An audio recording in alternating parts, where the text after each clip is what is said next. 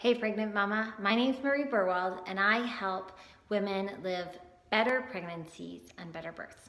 So, I've been in your shoes.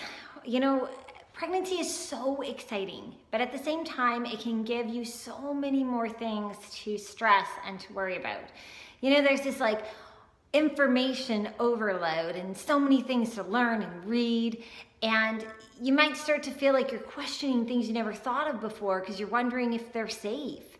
And then, you know, there's all the concerns about like, is baby good, right? And then, of course, there's the big one. I call this one like the loop de loop, right? So, if you think about pregnancy as a bit of a roller coaster, there's some smooth bits, there can be some bouncy bits.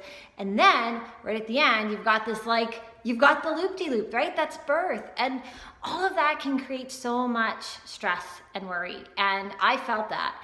And from my educational background, what I was able to do for myself was create a process that I could use to release that stress, release that worry in a way that I could move it through my mind and body so I felt peaceful and calm again.